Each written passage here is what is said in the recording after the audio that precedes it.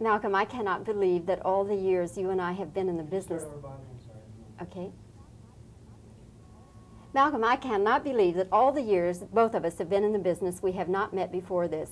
Well, it's remarkable, isn't it? yes. There is still somebody in this business that we haven't met. So anyway. That's what keeps us interested. Right. It's lovely to have a chance to meet you and talk with you.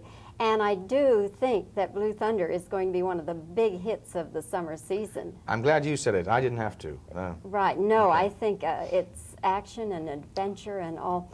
I, I'm curious, from an actor's point of view, do you ever get to feeling that a movie like Blue Thunder, with all the hardware and all mm. the mm-hmm. action and all that, that uh, it's more difficult for you to get your character together? No. I never compete, though, with children, animals, or hardware. Um, I support them, you know. Um, I don't try and compete with them because there's no way of comp competing with that trio. Um, and I think that they, uh, I think the actually in this film, interestingly enough, the hardware enhances and, and makes the film really exciting, of course, and, and it's basically about that.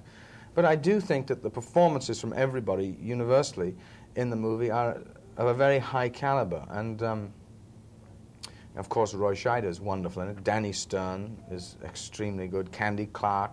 And I, would like to mention Warren Oates, who unfortunately, this is, was his last movie. Poor dear man.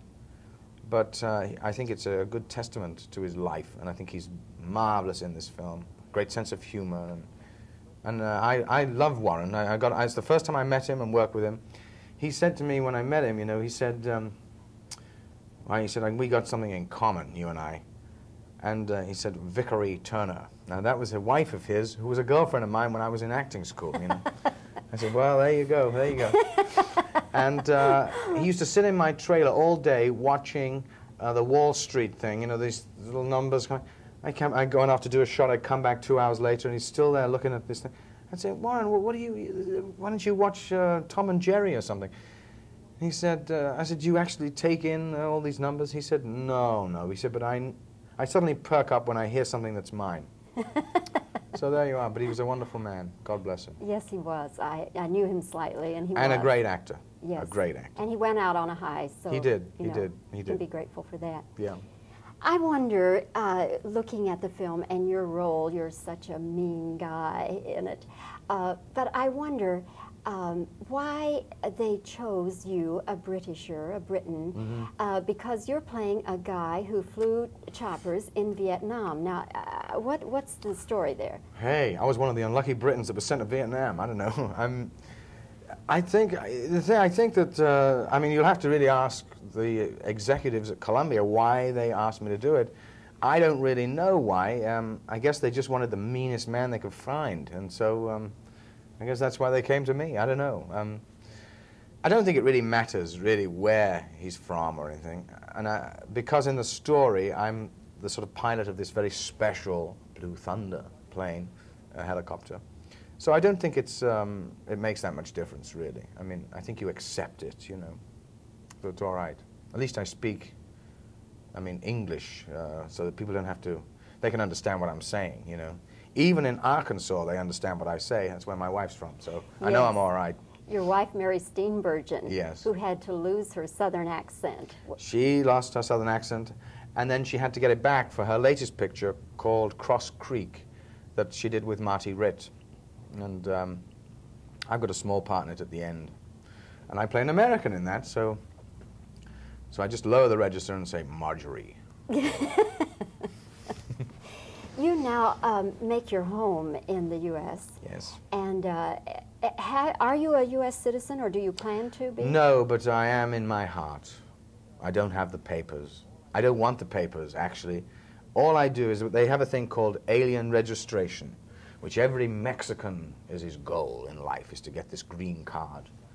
And um, I got my green card, which means I pay my taxes to Uncle Sam, I don't have the opportunity, unfortunately, to fight in a war for Uncle Sam or vote. So I got a pretty good deal out of it, really. So um, I still keep my British passport, and we have a house in London, and we go there from time to time, and I have family there, of course. But um, my philosophy has always been one akin to the American philosophy and way of life, really, even when I was living in England and never had never been to America. What is that philosophy? Um, free spirit, free enterprise. If you work hard and have talent and are given the opportunity, given luck, you can do it. It doesn't matter who your parents were. In England, it's all to do with class, you know. Even yet, Oh, yes, even yet, yes, even yet. I thought the Beatles changed all that. They helped. They helped. It was good. Good for the English to have that, those accents uh, around the place for a while, and it was very popular to have come from Liverpool. I am from Liverpool, actually. And I remember seeing them as the Silver Beatles at, in the Cavern Club. So I have that distinction. Not many people, you know, saw them when they were called the Silver Beatles. And did you think they would ever be world famous? I'd never make an agent. I hadn't got a clue. I thought, what a rowdy group that is. You know. Boy, but we, I was drawn to them. though. I went to see them every Friday night when they were there. They were, and it, they had great raw energy. They were wonderful, actually. And the scruffy kids made good. Yes, they certainly didn't do too badly.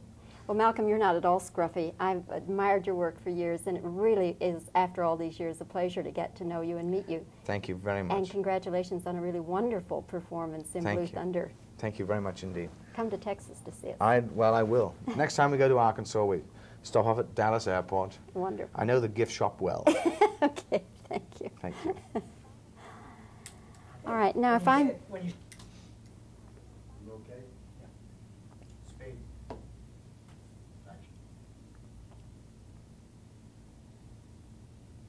Action.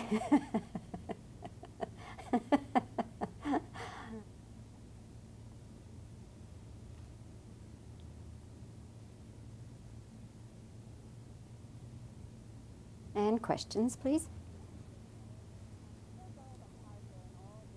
Does all the hardware and all the action tend to get in the way of what the actor is trying to do?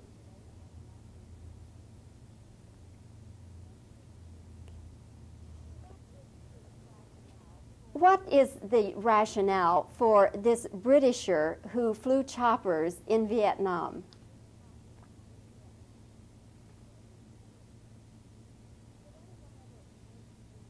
Did anyone ever explain to you why they chose you, a Briton, to play this chopper pilot in Vietnam?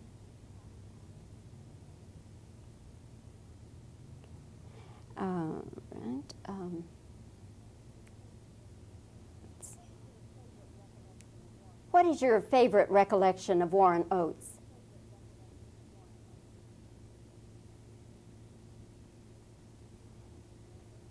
And. What is this American philosophy you mentioned? What does the American philosophy mean to you?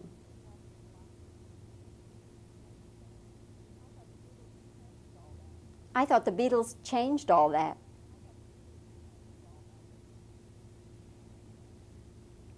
That should do it. Shake your hand. Why don't you let me Great. shake your Oh, all right. Okay. Yeah, Look at Okay. Okay. And you're shaking this way. Uh, all right. No, I'm over here. Okay. Okay. Okay, go ahead. You. You're saying goodbye.